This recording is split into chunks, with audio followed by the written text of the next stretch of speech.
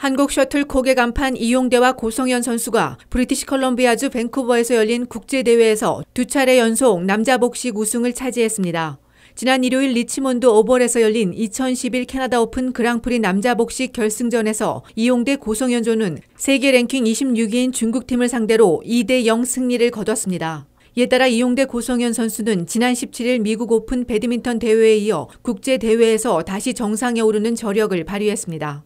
한편 기대를 모았던 혼합복식에서 이용대 하정은 선수는 중국팀의 1대2로 패해 16강에서 탈락했습니다.